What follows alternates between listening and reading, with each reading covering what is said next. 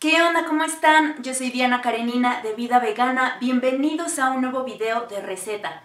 Y pues ya es diciembre, mi mes favorito. A mí me encanta la época navideña y todo lo que tiene que ver con Navidad. Me gusta muchísimo. Así que con mucho cariño les comparto esta receta para preparar galletas de jengibre. Podemos hacer muñequitos, muñecos de nieve, bastoncitos, cualquier figurita que se les antoje. Así que sin más, vamos a verla.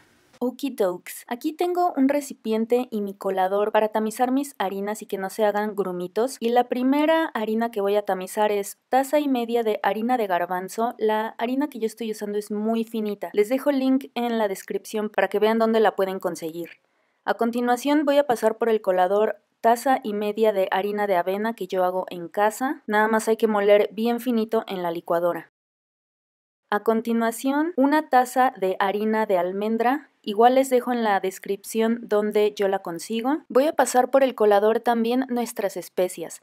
Aquí tengo dos cucharaditas de jengibre en polvo, dos cucharaditas de canela en polvo, un cuarto de cucharadita de clavo de olor en polvito y de nuez moscada, una cucharadita de polvo para hornear. Vamos a tamizar muy bien y después vamos a incorporar bien todos nuestros ingredientes secos. A continuación voy a poner 3 cuartos de taza de miel de piloncillo. Si la quieres hacer en casa es muy fácil, te dejo el link a la receta en la cajita de descripción y voy a agregar una cucharada de extracto de vainilla. Voy a revolver muy bien hasta formar una masa. Esta masa se va a hacer muy pegajosa porque tiene muy poquita grasa. Entonces vamos a tratar de utilizar un plastiquito. Yo utilicé una bolsa de plástico reciclada, limpia, y le voy a poner un poco de harina de garbanzo para que no se me pegue. La voy a hacer paquetito y la voy a dejar reposar una media hora en nuestro refri.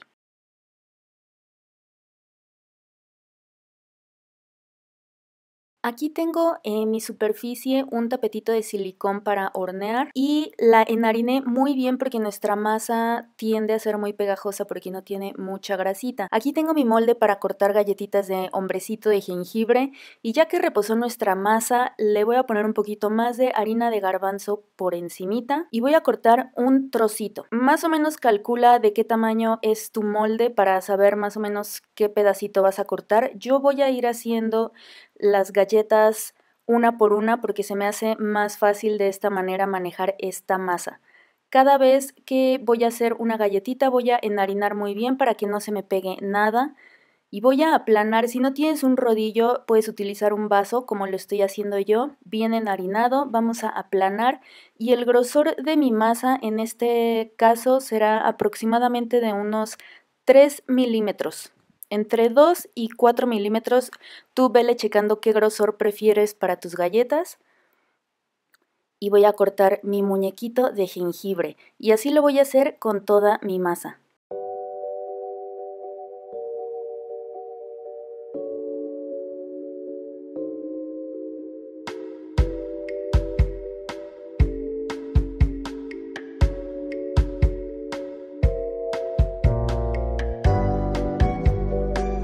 Y bueno, ya terminé todas mis galletas y me sobró un pedacito que no alcanza para ninguno de los moldes que tengo. Así que, ¿se acuerdan de mi hot cake de Olaf? Les dejo el link al video del hot cake de Olaf por si quieren saber la historia. Y decidí hacerme una galletita de Olaf con lo último que me quedaba de masa. Hashtag equipo Olaf si es que ustedes también lo ven como yo. Ya acomodé bien mis galletas en mi charola para hornear y las voy a hornear a 180 grados por 10 minutos, máximo 12 minutos. La cuestión con esta masa es no tiene que verse cafecito por abajo, no te esperes a que se ponga cafecita la galleta por abajo porque eso quiere decir que se quemó y te va a quedar muy dura la galleta. Lo que buscamos aquí es que la galleta tenga un color uniforme doradito como bronceadón dorado y que no se haga cafecita para que no se te haga dura la galleta. Sácalas del horno, déjalas enfriar muy bien y pasamos a decorar. En total me salieron 21 galletas. Ok, aquí tengo un par de cucuruchos para decorar con nuestro glaseado. Lo puedes hacer con una bolsita Ziploc si sientes que tienes más control, pero esta es otra opción que les quiero dar Estos cucuruchos los hice con papel encerado delgadito. Aquí tengo un cuadrado que corté a la mitad en diagonal, entonces tengo dos triángulos. Vamos a tomar uno de estos triángulos, vamos a tomar como referencia no este piquito, sino la parte de abajo, esa parte va a ser nuestra punta del cucurucho. Así que voy a tomar un extremo y lo voy a pasar hacia arriba, hacia nuestro piquito de arriba, y luego voy a envolver con el otro extremo hacia el otro lado y voy a tomar de el costado y voy a comenzar a jalar con mi mano como lo pueden ver aquí para hacer la punta súper finita y que se cierre nuestro cucurucho. Queremos que este cucurucho esté cerrado, que no tenga ningún agujerito. ¿Ok? Entonces ya que tenemos nuestro cucurucho listo, voy a tomar las pestañitas que quedan en el extremo y las voy a doblar para asegurar este cucurucho y que quede todo en su lugar. Entonces voy a tomar la primera pestaña y la voy a doblar hacia afuera. Y la segunda pestañita, que fue la que envolvió el cucurucho, la voy a meter hacia la parte de adentro, valga la redundancia. Entonces asegurémonos de que estas pestañitas queden bien dobladas y bien aseguradas y ya tenemos un cucurucho listo.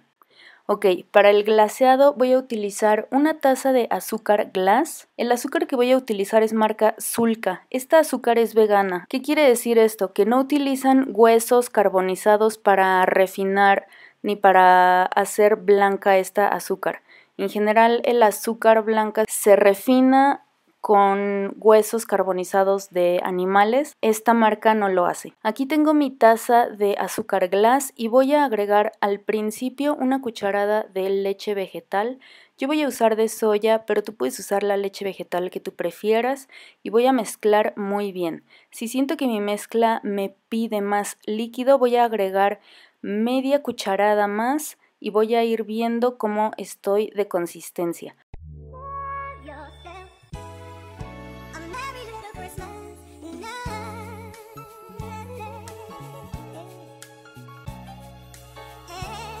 La consistencia que estoy buscando es esta que tengo aquí en la pantalla. Esta es la consistencia que, que me va a ayudar a crear la decoración que quiero. Voy a llenar la mitad de mi cucurucho, le voy a cortar con unas tijeras la puntita y voy a comenzar a decorar. Es muy importante cubrir el glaseado restante con un papelito o un plástico para que no se reseque. Bueno, no soy experta en este tema, pero lo estoy haciendo simplemente con mucho cuidado, poco a poco. Tómate tu tiempo si no tienes demasiada experiencia decorando galletas y te puedes apoyar con tu otra mano para si sientes que te tiembla mucho la mano que está decorando la galleta, ayúdate de tu otra mano para tener mayor estabilidad y puedes hacer los diseños que se te ocurran. Yo aquí hice le hice unas manguitas en zigzag a algunos muñequitos, a otros les puse bufanda, a otros les puse pantalones con tirantes.